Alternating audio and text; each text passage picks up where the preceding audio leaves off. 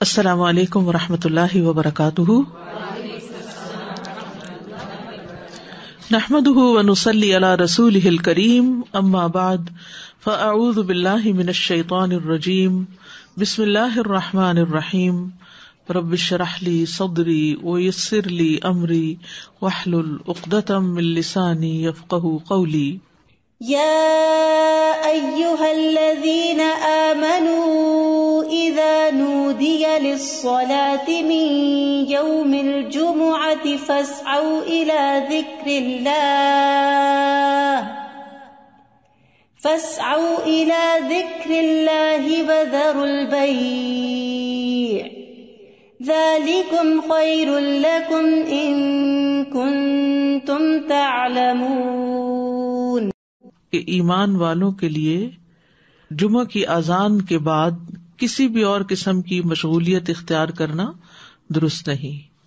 और हर आकिल बालिग को जुमे की नमाज़ के लिए दौड़ पड़ना चाहिए, क्योंकि जुमा हर मुसलमान पर फ़र्ज़ है। नबी सल्लल्लाहु अलैहि वसल्लम ने फरमाया, जुमा हर मुसलमान पर जमात के साथ लाजमन फ़र्ज़ है। हक्कुन वाजिबुन कहा, सिवाय चार तरह के लोगों के, गुलाम, ममलूक औरत, बच्चा या मरीज़। तो एक हो गया गुलाम ममलूक, दूसरा औरत, तीसरे बच्चा और चौथे बीमार शख्स। इसी तरह मुसाफिर पर भी जुमा नहीं है। और औरतें घर में चार रकत नमाज़ अपनी जोहर की पढ़ेंगी। घर में जुमा नहीं होता। जुमा जमा होकर ही होता है। मस्जिद में होता है और बड़ी मस्जिद में होता है। ईद के दिन जुमा ना पढ़ने की रुख्सत है। अबू हुरारा कहते हैं कि रसूल अल्लाह सल्लल्लाहु अलैहि वसल्लम ने फरमाया, तुम्हारे आज के दिन में दो ईदें जमा हो गई हैं। बस जो चाहे तो उसके लिए ये नमाज़ ईद जुमा से काफ़ी होगी। जुमा ना भी पढ़े तो ठीक है। ईद का पढ़ना लाजिम है। और हम तो जुमा पढ़ेंगे। यानी आपने पसंद किया कि जुमा पढ़े, लेकिन जो ना पढ़ना चाहे, जोहर पढ़ना चाहे तो वो भी ठीक है। वहब बिन कैसान से मरवी है, उन्होंने बयान किया कि इब्न जुबैर रज़ी अल्लाह अनहुमा के दौर में जुमा और ईद इकट्ठे हो गए तो उन्होंने ईद के लिए निकलने में देर कर दी हत्या के दिन काफ़ी ऊँचा हो गया। फिर वो निकले, खुतबा दिया और बहुत लंबा खुतबा दिया। फिर उतरे और ईद की नमाज़ पढ़ाई और उस दिन लोगों को जुमा नहीं पढ़ाया। ये बात इब्न अब्बास से ज़िक्र की गई तो उन्होंने फरमाया, उन्होंने सुन्नत पर अमल किया। यानी कि बाकी हदीसों में बहुत सी चीज़ें, वो मासलत है, जो एक एक चीज़ किसी और हदीस में अलग से भी मिलती है। जो शख्स जुमा के दिन गुसल करे, जिस कदर मुमकिन हो पाकिजगी हासिल करे और अपने तेल में से तेल लगाए या अपने घर की खुशबू में से खुशबू लगाए। फिर इसी तरह मस्जिद की तरफ़ जल्दी निकलना चाहिए, क्योंकि जब इमाम निकल आता है तो फिर उसके बाद फरिश्ते नाम लिखने बंद कर देते हैं। फिर कसरत से दुरूद पढ़ना। रसूल अल्लाह वसल्लम ने फरमाया जुमे के दिन और जुमे की रात को, यानी रात से ही शुरू हो जाए। कल किसी ने सवाल किया था कि जुमे की रात का कोई खास अमल क्या है तो वो दुरूद शरीफ पढ़ना है। तो जुमे की रात को कसरत से मुझ पर दुरूद पढ़ा करो। बस जो आदमी मुझ पर एक दफ़ा दुरूद भेजेगा, अल्लाह उस पर दस रहमत नाजिल करेगा। औस बिन औस रिवायत करते हैं कि रसूल अल्लाह सल्लल्लाहु अलैहि वसल्लम ने फरमाया, बेशक तुम्हारे अफसल दिनों में से जुमे का दिन है। इसी दिन आदम सलाम पैदा किए गए। इसी दिन उनकी रूह कब्ज की गई। इसी दिन सूर फूका जाएगा। इसी दिन लोग बेहोश होंगे। इसलिए इस दिन मुझ पर कसरत से दुरूद भेजा करो, क्योंकि दुरूद मुझ पर पेश किया जाता है। यानी ये स्पेशल डे है, और इसमें स्पेशल करने का काम किया है कि रसूल अल्लाह सल्लल्लाहु अलैहि वसल्लम को दुरूद का तोहफा भेजा जाए। फिर सूरत अल पढ़ना।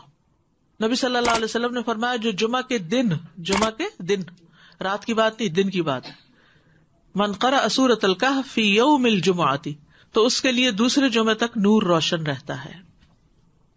और फिर क्या करो? वजरुल खरीदो फरोख्त छोड़ दो। जालिकुम खैरुल्लकुम ये तुम्हारे लिए ज़्यादा बेहतर है। इन कुन तुम तालमून अगर तुम इल्म रखते हो, जानते हो। यानी अल्लाह ने जुमे की नमाज़ के वक्त खरीदो फरोख्त से मना कर दिया। और उसको उन लोगों पर हराम करार दिया जिनको मुखातिब किया गया कि उन पर जुमा फ़र्ज़ है। यानी याजीन आमनू से शुरू होके एंड तक एक करने का काम बताया गया और दूसरा छोड़ने का काम। और वो क्या है? पढ़ना फ़र्ज़ है, ऐसे तिजारत छोड़ना फ़र्ज़ है। ठीक है? यानी जब अजान हो जाए तो खरीदो फरोख्त, तर्क कर दो। और अल्लाह के ज़िक्र यानी नमाज़ के लिए जल्दी करो। यानी अगर कोई सौदा तय भी पा रहा है तो बस वही ठप कर दो। आपने ये एक्सपीरियंस किया होगा सऊदी अरब में के बाजुकात ये होता है कि सिर्फ़ पैसे देने वाले रह जाते हैं। आपने सारी चीज़ भावता कर लिया, चीज़ ले ली, पैक कर ली, रख ली, और अभी पैसे देने इधर से अजान हुई, वो कहते बस छोड़ दो, चीज़ भी छोड़ दो। नहीं चाहिए पैसे, निकल पड़ते हैं। जो बहुत पर्टिकुलर है। यानी इस दर्जे का हुक्म है कि उस वक्त काम छोड़ दो। इंस्टेंट स्टॉप वजरुल बय, ये भी फ़र्ज़ के दर्जे में है। तो इसी वजह से उलमा का इतफाक है कि दूसरी अजान के बाद खरीदो फरोख्त हराम है। असल में यहाँ तो हमारे यहाँ मस्जिदों में एक ही अजान होती है, लेकिन जैसे अगर सऊदी अरब में आपने कभी हरम में जुमा पढ़ा हो तो आपने देखा होगा कि वो एक अजान जरा आधा घंटा या कुछ पहले दे देते। वो सिर्फ़ एक इन्फॉर्म करने के लिए कि लोग तैयारी शुरू कर दें। लेकिन जो ही फिर इमाम बैठता है और अजान शुरू होती है तो उसके बाद फिर कोई खरीदो फरोख्त नहीं। इमीडिएट पहले वाली है। इसमें यह कहे, बाज उलमा का ख्याल है कि ये जवाल के बाद से नमाज़ जुमा के फारिग होने तक है। यानी जो ही सूरज ढल जाए तो शुरू हो जाता है, खरीदो फरोख्त बंद। कुछ कहते हैं, खुतबे की आजान से नमाज़ तक है। तो बहरहाल जुमा के दिन खरीदो फरोख्त, यानी सुबह में कर सकते हैं, उसके बाद भी कर सकते हैं, लेकिन उस पीरियड में नहीं कर सकते। तो एहतियात यही है कि जवाल के बाद से रोक दिया जाए। बाजुकात ये होता है कि खरीदो फरोख्त तो नहीं होती, लेकिन जॉब होती है। बाजुकात ये है कि कुछ लोग ये करते हैं कि अच्छा अभी तो अजान हुई होगी, अभी तो खुतबा चल रहा होगा, हम नमाज़ में जाके शामिल हो जाएँगे। तो नहीं, अजान का वक्त जो है, वो जुमा शुरू होने का वक्त है। उसमें फिर बाकी काम छोड़ देने चाहिए। इला ये कि इंसान पार्क कर रहा है, या रश है, या रास्ते में कोई रुकावट आ गई है, वो अलग बात है। जालिकुम खैरुल्लकुम इन कुन तुम तालमून। ये तुम्हारे हक में बेहतर है, यानी खरीदो फरोख्त छोड़ना बेहतर है, अगर तुम जानते हो। यानी नमाज़ पढ़ना ज़्यादा बेहतर अमल है। और इसलिए कि अगर तुमने वक्त पे नमाज़ ना पढ़ी, वो तो फौत हो जाएगी। लेकिन अगर तुमने तिजारत छोड़ दी उस वक्त तो वो तो बाद में भी हो सकती है। उसका कोई वक्त मुकर्र तो नहीं है, वो तो किसी वक्त भी हो सकती है। एक तो ये उस्तादा जी कि सूरतुल कहफ के भी जैसे आपने बताया तो सूरतुल कहफ के लिए भी क्या कुछ वक्त मुकैद है? कुछ लोग इसको कहते हैं कि it has to be before असर नहीं मगरिब से पहले पहले तक। पूरा दिन का पूरा दिन दुरूद के लिए भी पूरा दिन। ठीक है मगरिब पे वो दिन का इख्तिताम हाँ, होता है। ठीक है। और दूसरा ये जो जुमे की बात आई कि वजरुल बय अब फॉर इंस्टेंस अब डिपेंड करता है ना नियत वाली बात है कि अगर आपने जुमा अटेंड करने की नियत की हुई है हाँ। तो फिर आपका होगा। अब जैसे फॉर इंस्टेंस हम यहाँ होते हैं और अगर किसी वक्त हम औरतों पर तो फ़र्ज़ ही नहीं है ना। जी। लेकिन अगर इरादा किया हुआ है तो फिर उस वक्त इंसान सब छोड़ के चला जाए। ठीक जजाक खैर। एक ये सवाल है कि जब हम फ्राइडे की मॉर्निंग और नाइट कहते हैं तो क्या वो नाइट जुमेरात की मगरिब के बाद शुरू होती हाँ, है? जी जी। सही। जी दूसरा ये है कि अगर हम आए हैं जुम्मे की नमाज़ के लिए और किसी वजह से ट्रैफ़िक में फंस गए खुतबा हो गया तो उसके बाद क्या हम सिर्फ़ दो फ़र्ज़ ही पढ़ेंगे कि पूरी नमाज़ पढ़ेंगे? अच्छा सवाल है। जी। उसमें यह है कि बाज कहते हैं कि अगर कोई दूसरी रकत की रुकू में शामिल हो गया तो उसका जुमा हो गया। इमाम अबू हनीफा का कॉल ये है कि अगर उसने सलाम भी पा लिया तो उसका जुमा हो गया क्योंकि वो भी नमाज़ का हिस्सा है। हद तक वो ये कहते हैं कि अगर इमाम सज्जा साहब कर रहा है तो भी जुमा हो जाएगा हम्म?